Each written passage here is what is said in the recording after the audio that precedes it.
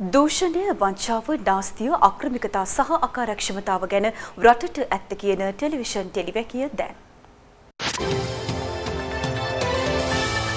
Television ටෙලිවැකිය අදලියන්නේ පන්සිය හතරවැනි ටෙලිවැකිය. අද ටෙලිවැකිය ආරම්භ කරන්නට හිතුවේ මවබිම පත්තරේ MD වීරරත්නගේ කාටුනයකින්. මේ කාටූනයට පදනම් වෙලා තියෙන්නේ හිටපු අගමැති මහින්ද රාජපක්ෂ නිකුත් කළ නිවේදනයක්. හොඳේ මහින්ද රාජපක්ෂ ඉතා තද දැඩි තීන්දුවක් කරගෙන කියලත් මාධ්‍ය වාර්තා කලා පහුගේ දවස්ටිකේම නේද මතකද. මොකක්ද මේ මහින්ද රාජපක්ෂගේ නිවේදනය ශ්‍රී ලංකා පොදුජන පෙරමුණේ ලෙට හෙඩ්ඩක යටතේ තමයි නිවේද නිවේදනය නිකුත් කරලා තියෙන්නේ. ශීර්ෂ පාටය තමයි රජයේ සතු වත්කම් සහ ව්‍යාපාර විකිනීම කියන එක. රජයේ සතුවත්කම් සහ ව්‍යාපාර විකිනීම කියන එක. රජයට අයත් ඇතැම් වත්කම් සහ ව්‍යාපාර විකුණා දැමීමට ආණ්ඩුව ගනිමින් සිටින පියවර නිසා පෘතිය සමිති දේශපාලන පක්ෂ හා පොදු මහජනතාව අතර නොසංසුන් තත්ත්වයක් හටගෙන තිබෙනවලු. කෞද මෙම නිවේදනකින් කැනෙ මහින්ද රාජපක්ෂ. දෙදස් පහේ ඒ සිට දෙදස් පහළව දක්වා මා රටපාලනය කළ වසර නවය තුළ. කෞද මා රටපාලනය කරනගේ මහින්ද රාජපක්ෂ මහින්ද රාජපක්ෂ රටපාලනය කළ වසර නවේ තුළ කිසිවක් විකුණා දැමුවේ නැහැල්ලු. ඒ වෙනුවට කලින් රජයේ මේ කලින් රජය කියන කාටද රනිල්ගේ අගමැතිත්වෙන් චන්ද්‍රිකා ජනාධිපති වෙලා නේද අගේ ආණ්ඩුවට හොඳේ කලින් රජයේ විකුණා දැමූ ශ්‍රී ලංකා රක්ෂණ සංස්ථාව ලංකා හොස්පිටල්ස් වැනි ආයතන රජයට ආපහු පවරග ගත්තලු. ඒ කියන්නේ එයාලා විකුණලා තියෙනවා මෙයාලා පවරගෙන තියෙනවා නේද.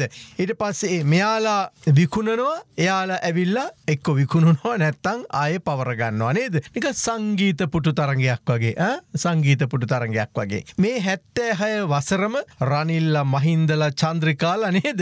ඒ දෙපිළවල් බෙදිලා ආණ්ඩු කරනවා ඕක තමයි හැම කාලෙටම වුණේ හරිය දැන් මහින්ද රාජපක්ෂ සිය නිවේදනයෙන් කියන්නේ නිකං අලුත් ආණ්ඩුවක් පත්වෙන තුරු එකැන මේ ආණ්ඩුව නිකං අපේ නෙමේ වගේ. අලුත් ආණ්ඩුවක් පත්වෙන තුරු රජයේ සතු වත්කම් හෝ ව්‍යාපාර විකුණා දමන්ට ගෙන ඇති සියලු පියවර අත්හිට වන්ටලු ඕකට නිවේදනයක් දාන්ට දෙයක් නෑනේ නේද? රනිල් එක්‍රම සිංහට කිව්වනං අඩගහල වහාම මේටික නතර කරන්නට නැත්තං අපිවාව අයින් කරනවා කියලා වැඩ ඉවරයින නේද? දැන් ලොකුම ප්‍රශ්නය මේ තියෙන්නේ කාගේ ආණ්ඩුවද්ද කියන එකන. නිකම් බැලූ බැල්මට මේ නිවේදනය කියවන කෙනෙකුට හිතෙන්නේ මේ තියෙන්නේ අංගහරුලෝක ලෝකෙට ඇත් ආණ්ඩුවක් වගේ කියලා නේද. මේ තියෙන්නේ ගෝටාබේගේ ඉදිරි කාලයට පත් කරගත්න් ජනපති රනිල්ගෙන් සමන්විත ගෝටාබේගෙම පාර්ලිමේන්තුව හොඳේ ගෝටාබේගම පාර්ලිමේන්තුව වෙනසකට තියෙන්නේ මහින්දට අගමැතිකම නැති වෙලා ඒක දිනේශ් ගුණවර්ධනට ගියක. මේ පාර්ලිමේන්තුව පත්වනු සංයුතය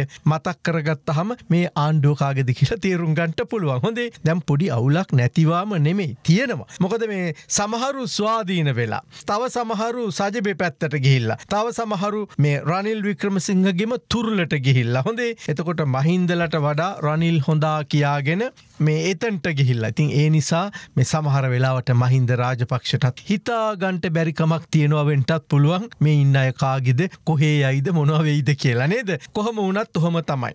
වයිසට යනකොට සමහර දෙමවපියෝ නේද තරුණ කාලය කොයි තරං හොඳට දරුව බලාගත්තත් අන්තිමට සමහර දරුව ඉන්නවා ඉතින් මහල්ලු මඩම්වලට ගාල් කරනවා. සමහර දුවල පුතාලා. ඕක තමයි ලෝකෙ හැටි. දැන් නිකමට වගේ මේ පාර්ලිමේන්තුවේ සංයුතිය බලමුණේද. ශ්‍රී ලංකා පොදු ජන පෙරමුණට එකසිය හතලිස් පහයි.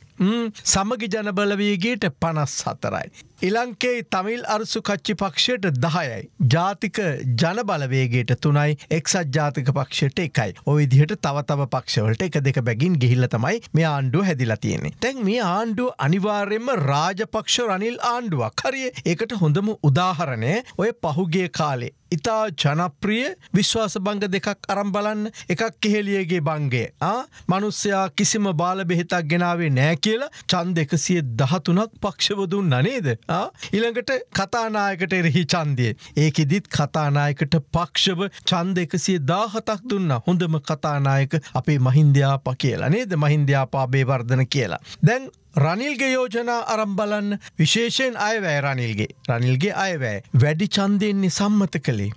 මේ මහින්ද ප්‍රමුඛ සෙට්ටකනේ ඔය අයවැය කතාවලදි රනිල් වික්‍රමසිංහ කිව්වා ණයගන්ට වෙන එකයි විකුල්ලදාන්ට වෙන එකයි ගැන නේද? පැහැදිලිව කිව්වා. ඉතින් දැන් ඒකට අත උත්සල ඒක අනුමත කරලා අයවැය දිනවල රනිල්ට පක්ෂපාතිත්වය පල කරලා අද නිකම් මේ හතරබීරි නිවේදන නිකුත් කරනවා නේද? ඇ රනිල් වික්‍රමසිංහ විකොනමික් සහ බෙගනොමික්ස් කියලා එයයිව ඔයාලා පත් කරගත්ත දවසෙම තමයි අපි ටෙලිවැකියෙන් එක කිව්වේ. හොඳේ දැන් මේ චන්දය දේ ළඟයින නේද?